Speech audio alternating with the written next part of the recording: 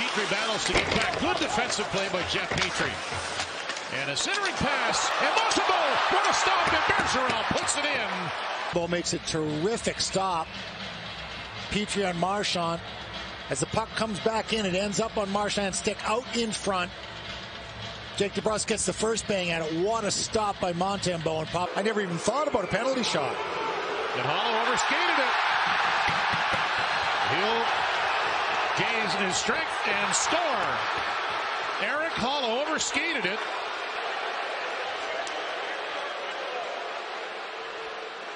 Remember years ago, Marchand did that. He took off for a penalty shot and he fell, and it was waved off, but he had possession, I believe, when he did. What a st strange sequence. What a very strange sequence. I thought it was a strange penalty shot to start with.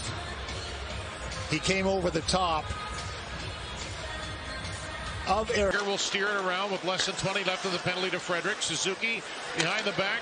Jeff Petry penetrates out front of the net. Here's Anderson. Scores!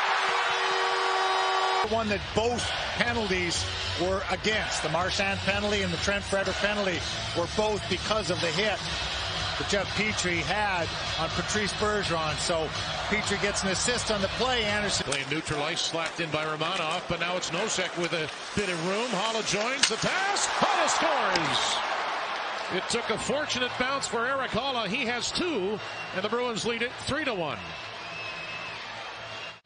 of Eric Haula as he cruises through to the net.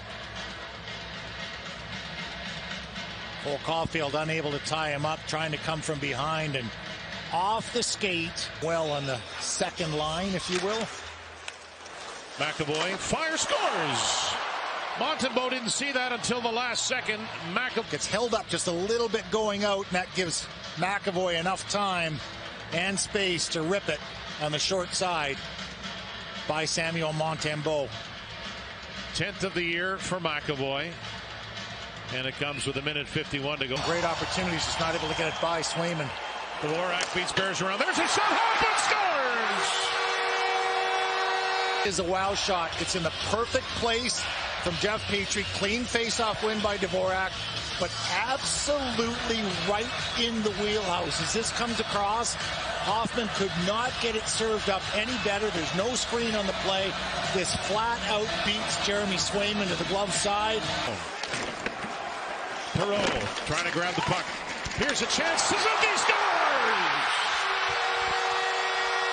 Suzuki is part of a change. He's coming off the bench and just goes undetected. Taylor Hall also on the change. He takes a look over his shoulder. He sees Suzuki but chooses not to go over and pick him up right there. Taylor Hall. Pezzetta and Perreault do the digging. Out at Hoffman, 15 seconds to go. And a point pass. Marchand went to the bench, got a new stick. Grabbing that puck, Patrice Bergeron, empty netter, scores. Good help on the face-off win. Josh Anderson helping out Nick Suzuki for the win and unable to get anything through to the